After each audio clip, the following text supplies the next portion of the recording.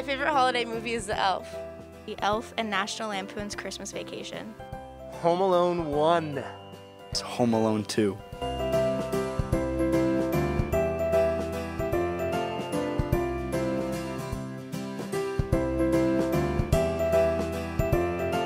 My favorite holiday memory is going to Santa's Village as a kid with my family.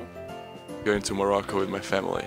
I was probably around eight, and I was questioning my belief in Santa Claus. And I opened all my presents, and my mom said, Oh, can you go get the clothes from the dryer? And I opened the door, and there was a big mystery present outside.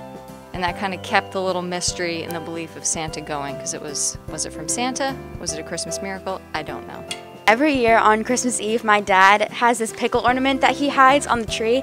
And then on Christmas morning, my sister and I race upstairs, and the person who can find the ornament first gets to open up the first present. Santa Claus left bells on socks outside of our room every year. And in the morning, to wake up our parents on Christmas, everyone would put on their Christmas socks with bells and we jingle all through the house.